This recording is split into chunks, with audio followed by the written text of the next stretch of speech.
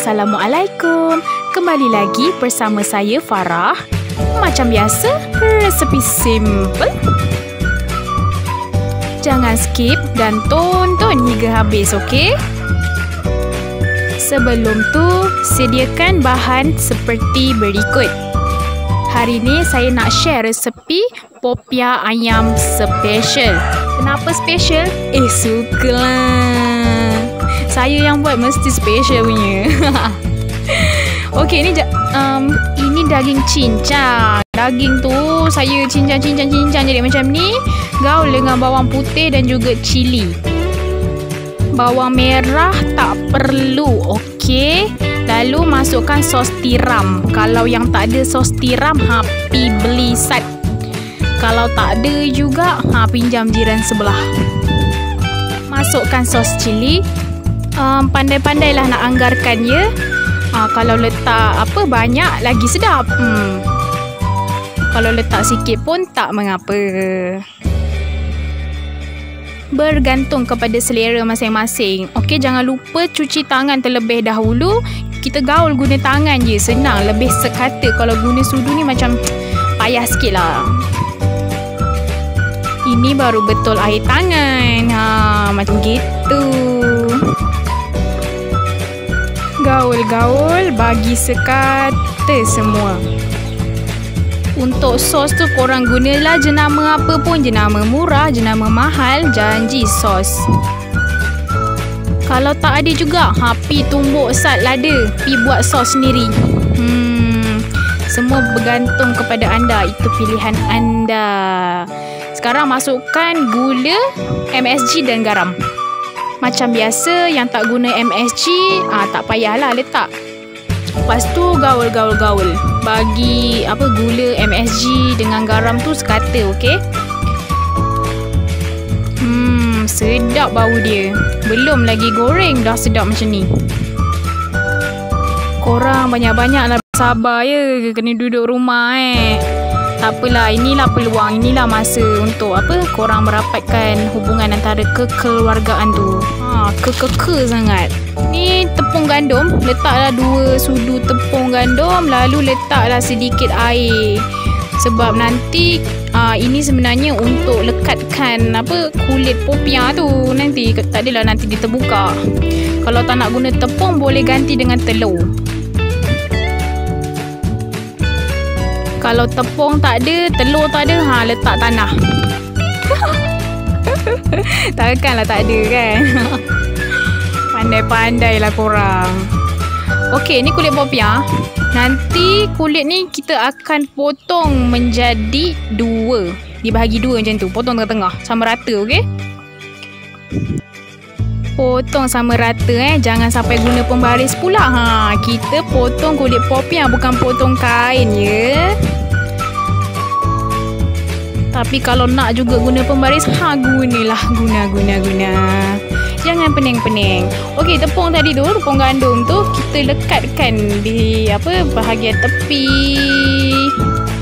Ha, macam itulah tengoklah macam mana saya buat tu korang tiru je. Macam gitu. Tak, sorry eh kalau selebet sikit.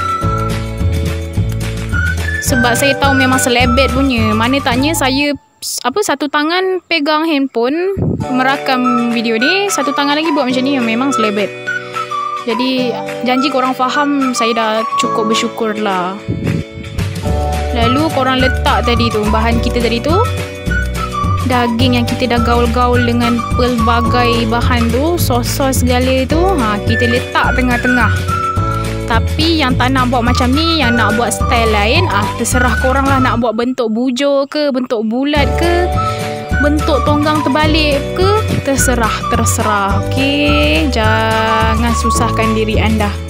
Ikutlah kreativiti anda sendiri. Sorry sekali lagi selebet Serabut ha.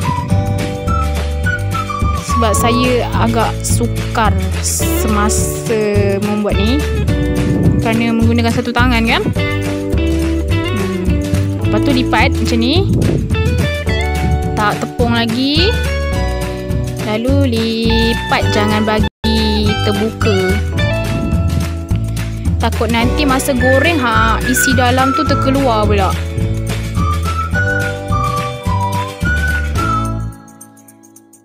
Buat sampai habis. Hmm. Kalau yang tak yakin nak guna selapis tu boleh letak dua lapis. Sebab kadang-kadang saya tahu kulit popia ni suka apa? Pecah kan? Nanti tiba-tiba masa goreng ah yang dalam tu terkeluar. Itu normal lah. Normal, okay? Ah, ikutlah korang nak letak berapa lapis pun. Tapi saya letak satu lapis je. Satu lapis je dah cukup. Saya buat memang tak kemas. Sebab saya guna satu tangan je Sebab satu lagi saya merakam. Jadi saya sangat yakin korang buat aa, Akan lebih kemas lah daripada saya buat. Ini kan kalau korang jual memang untung gila. Mana taknya ayam tu saya letak dua ketul je Tapi dah, boleh dapat banyak. Okey sekarang panaskan minyak untuk goreng ni. Dah lah sedap. Mudah pula tu Pejam celik Pejam celik dah. Siap. Saya tak tahu Nak gambarkan macam mana rasa je. Jadi korang Wajib cuba. Ini Sangat sedap. Saya tak tipu. Ni betul-betul sedap. Sesuai lah untuk korang Untuk apa Buat makan petang ke Ataupun untuk buat sarapan. Ha, duk ngonyel-ngonyel tu kan. Kat rumah tak ada apa nak buat tu ha, Boleh buat ni. Bagi anak-anak yang tak suka makan sayur tu kan biasa kan buat popia sayur, popia sayur. Ha, bolehlah try pula popia ayam. Biasa ni, biasanya apa? Budak-budak ni kan suka daging-daging ni berbanding sayur. Walau bagaimanapun sayur tu penting ya. Sikit sebanyak kena ambil. Ni goreng lah sehingga kekuningan. Macam biasalah korang tahu kan goreng macam mana. Hmm. Guna api kecil je Sebab takut nanti yang dalam tu tak masak Guna api kecil je. Balik-balik sikit Kan hangus pula kan. Tapi ah ni sekadar tips pas, Pastikan sebelum anda nak balik tu um, Benda ni dah kekuningan. Kalau anda balik seperti saya ni uh, Yang belum kekuningan Mungkin akan koyak dia punya kulit popiah tu.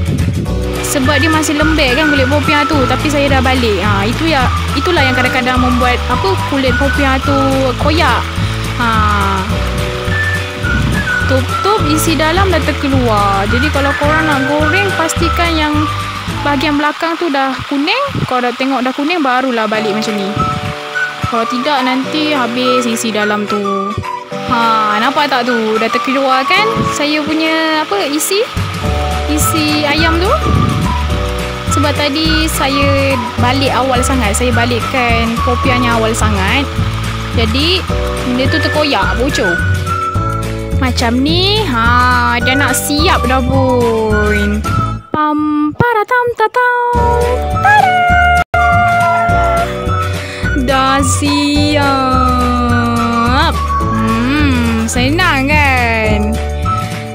Mengucapkan selamat mencuba dan apa yang saya boleh katakan ini wajib anda cuba sebab betul-betul sedap.